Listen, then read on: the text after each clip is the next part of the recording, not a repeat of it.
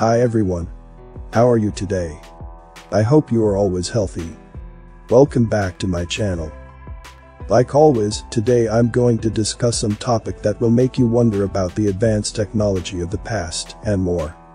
I got this on various sources. Please check the description to know more, there are many interesting topics there and not all of them can be covered here. I know that my video quality is far from good, but I hope the content is understandable. Some might say that I'm being repetitive by discussing this. But that's the whole point. This is proof that a small occult elite of the history to fit their narrative. Anyway, I also have a telegram channel. There, I will share various information that I cannot share here. Don't forget to subscribe to my backup YouTube channel, the link is also in the description box below. So, without further ado, fasten your pants and let's get started.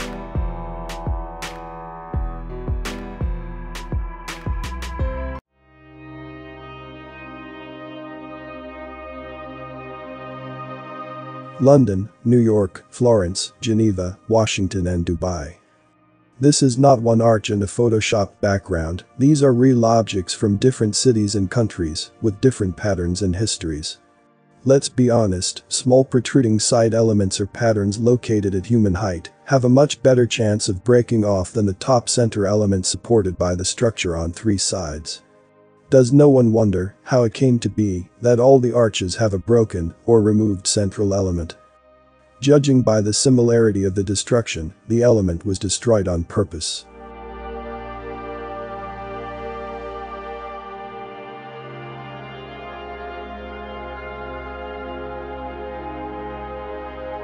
There are thousands of photos of giant doors walking around the web, among them not a few photos of St. Isaac's Cathedral.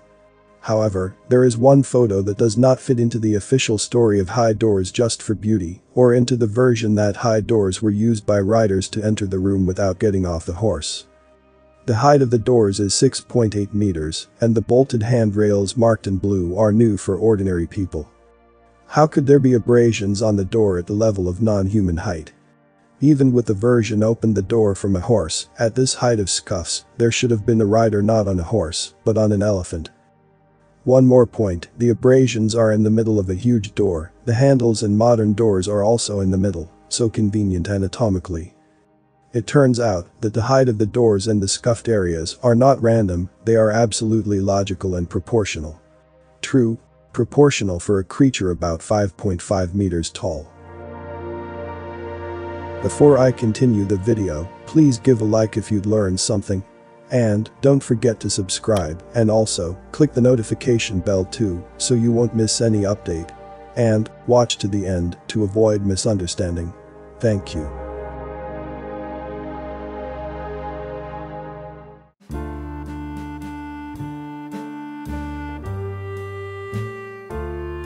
Zero-point energy is that fundamental energy that gives rise to everything that is. Instead of looking at this fundamental point, modern science is building its skyscraper on sand. Science has little understanding of how atoms come into existence and how consciousness emerges from among them. The popular Big Bang theory does not explain where the ginormous mass of matter came from, why it exploded, where did the energy for the explosion come from. Then we have the theory of entropy, which says everything moves towards disorder, whereas everywhere one looks, we have intelligent design embedded in nature, and that is not what disorder looks like. Further, everything we see are composed of atoms, and in that quantum space, everything moves frictionless and continuously. Where does disorder even start to happen in that space? What do you think?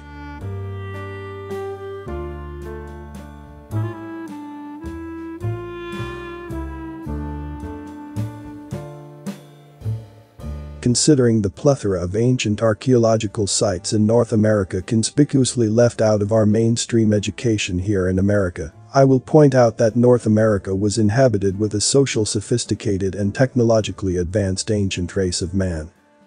The question most often asked and which is the most perplexing to those new to this information is, why would those that formulate our education system and write our history books consistently leave out, censor and distort the abundant discoveries of this ancient giant race of North America? To understand why this is done, we must recognize the simple truth that knowledge is power, and those that do not have it end up paying for it one way or another. The amount of censored ancient archaeological sites in North America is quite simply staggering in volume. There are literally thousands of newspaper articles from early American history that show that an ancient race of giants lived and thrived in America long before and during the Native Americans' existence on this continent.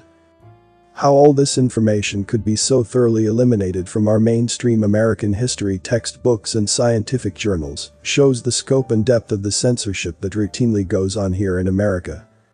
This legacy of humanity, kept secret for centuries, is a testament to the sophistication of ancient man and clearly shows that a conspiracy of silence has been perpetuated on the world for thousands of years by the small few ruling elite that wish to keep mankind rooted in everlasting ignorance.